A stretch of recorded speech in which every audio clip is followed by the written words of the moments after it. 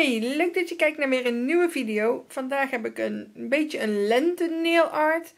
Oh, als je goed kijkt zie je hem ook echt wel shinen. Mooie glittertjes zitten ertussen. Ik heb hiervoor een aantal nieuwe gel polish kleuren van Madame Glam gebruikt. Je ziet er hier al een aantal staan. Dat is een nieuwe pastelcollectie. En ik moet eerlijk zeggen dat ik even niet weet hoe de kleur uh, of hoe de collectie heet. Uh, daarin zitten 10 of 12 hele mooie pasteltinten. Ik heb er ook nog geen swatches van gemaakt. Dat wil ik nog gaan doen. Wilde dat eigenlijk in deze video doen. Maar ik dacht ja dan wordt het misschien weer zo saai. Dus ik denk dat ik de swatches van alle kleuren nog even apart ga maken. En daarvan zul je foto's op mijn Instagram voorbij zien komen. En voor deze nail art heb ik al vijf verschillende kleuren gebruikt. Alle kleurtjes die je hieronder ziet zijn al vijf kleuren uit die collectie. Dus uh, de kleurtjes die je hier ziet staan. Ik ga nu nog een nail art maken. En daarvoor pak ik weer net even een ander kleurtje. Dit is Spring in Paris. Nou, dit vind ik echt een hele leuke zachte kleur. En ik vind sowieso al deze pasteltintjes heel erg mooi. Ze zijn heel zacht en ja, ze zijn echt perfect om als basis te gebruiken voor een nail art. Dus ik dacht ook meteen van, ik ga hier gewoon een leuke nail art op maken op deze zachte tinten. Deze is ook echt super mooi. Een hele mooie, ja, zachte peach een beetje, peachy. Ja, dit is een tweede laagje, mooi dekkend. Deze hard ik uit in de lamp en dan ga ik zo verder met de nail art. De volgende stap die ik ga doen is het aanbrengen van de Marble Inkt. Ik heb er hier een aantal. Deze zijn toevallig ook van Madame Glam.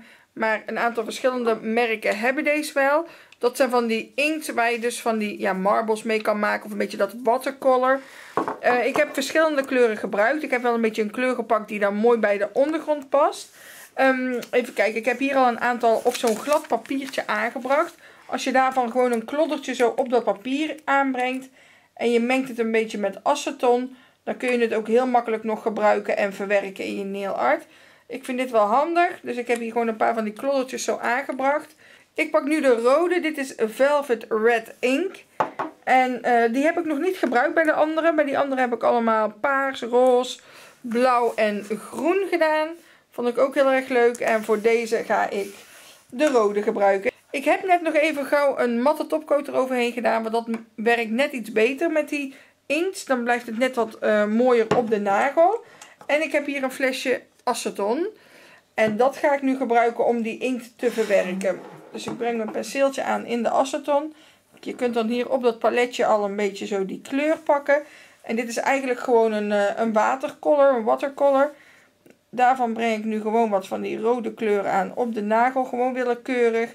Dit hoeft echt niet super netjes. Ik vind het gewoon leuk om een beetje verschillende kleuren op de ondergrond te hebben. Hoeft niet per se een patroon in te zitten.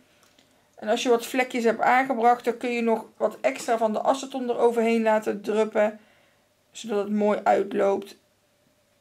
Heb je nu niet die uh, marble inkt, of vind je dat niet fijn om mee te werken, dan kun je ook gewoon een klein beetje pigment aanbrengen of wat flakes. Net even om die ondergrond wat leuker te maken. Jullie weten dat ik dat eigenlijk altijd wel doe. Zo. En hoe meer van de aceton je aanbrengt, hoe meer je die watercolor of die marble inkt kan vervagen. Dus kijk gewoon even wat je zelf leuk vindt. Nou, ik pak nu die rode op die peach kleur. Maar je had ook bijvoorbeeld oranje of roze kunnen doen. Had er ook prima bij gestaan.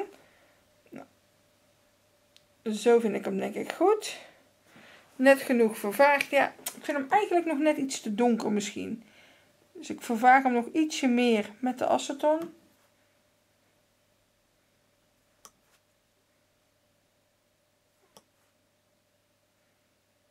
Oké, nou, zo laat ik hem denk ik. En dan gaan we hier de nail art overheen maken. Dus als je tevreden bent over de ondergrond, dus hoe je dat ook doet, maar in ieder geval een beetje met wat kleurtjes of wat pigment wat je zelf fijn vindt, dan gaan we dus stempelen. Ik gebruik hiervoor de Springtime stempelplaat van Moira. Um, dit is plaat nummer 118 en deze is verkrijgbaar via monite.be.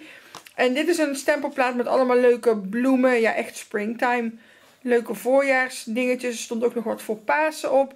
Maar er staan ook allerlei verschillende bloemen en takken op. Ik vond dit wel leuk om met bloemetjes te doen. Maar vind jij die takjes leuker, kan dat natuurlijk ook. Ik ga stempelen met een zwarte stempellak. Dat valt lekker op en dat steekt ook lekker af van die ondergrondkleur. Je kan eventueel ook gewoon ehm, ja, een kleur pakken die hier een beetje bij matcht qua kleur. Maar ik vond dat zwart juist wel leuk. En dan ga ik gewoon een van die takjes pakken die hierop staan. Er staan een hoop verschillende op. Ik vind dit wel een leuke. Allemaal verschillende bloemetjes. Hier staan wat meer tulpjes. Ja, er staat eigenlijk van alles op. Echt een hele leuke plaat. Maar ik pak deze eventjes. Zo. Dan ga ik er overheen met mijn schraper. Pak hem op met mijn stemper. Het is een heel groot patroon. Dus je kan mooi groot patroontje op de nagel zetten. Zo. Ja, dit vind ik al super leuk.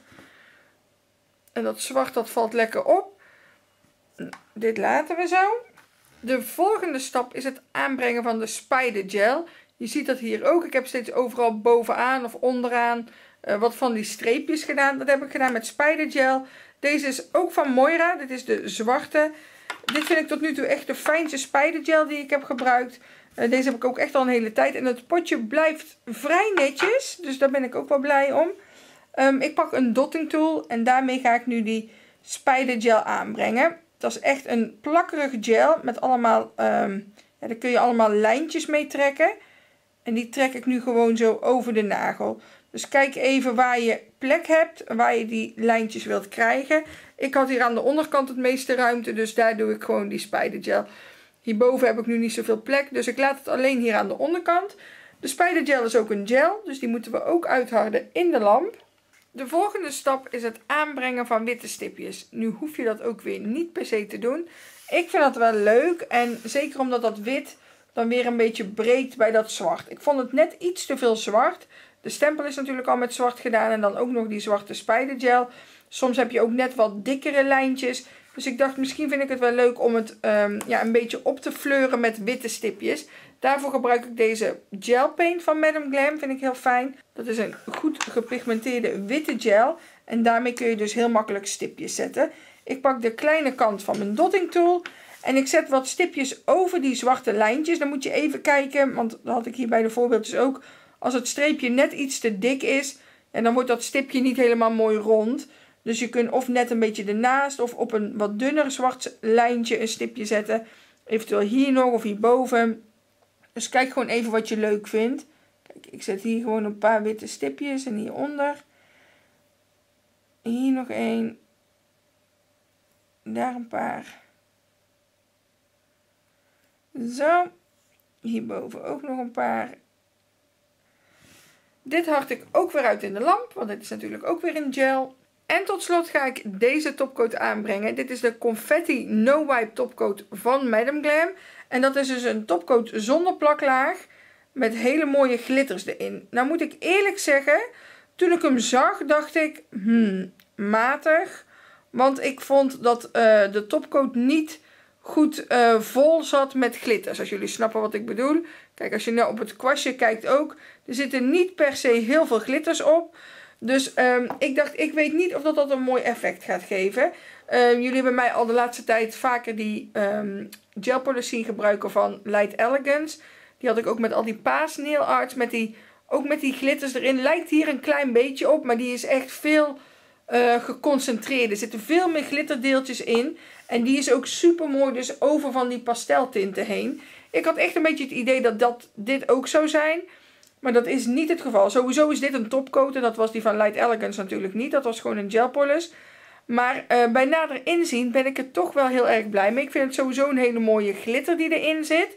Uh, ik vind het ook heel fijn dat het een topcoat is. Um, ja, dus als je hem aanbrengt en uithardt is die ook meteen helemaal klaar. Maar juist over zo'n nail art is die ideaal. Want je wilt natuurlijk hier ook weer niet te veel glitters doen. Stel je voor dat ik hier die kleur overheen zou doen van Light Elegance. Ja, dan ben je de halve nail art kwijt. Want dan is het weer te dekkend, te veel glitters. En deze is juist, ja eigenlijk vind ik, ja, niet genoeg geconcentreerd. Maar voor zo'n nail art is het echt perfect. Want er zitten wel glitterdeeltjes in. Verschillende glitterdeeltjes, wat grotere en wat kleinere. En er zitten ook echt uh, van die hele mooie ja, blinkende deeltjes in. Maar juist super leuk dat je dat hier en daar een beetje terug ziet komen op de nagel. Ja, ik vind dit wel... Voor zo'n nail art is het echt ideaal. Ik zeg ook eerlijk, als je dit over een effe kleur zou doen. Dus stel je pakt zo'n mooie pastel kleur en je wilt dit als topcoat gebruiken, dan vind ik het misschien juist weer te weinig. Er zullen zeker wel wat glitters opkomen, maar de nagel is echt niet helemaal bedekt met glitters.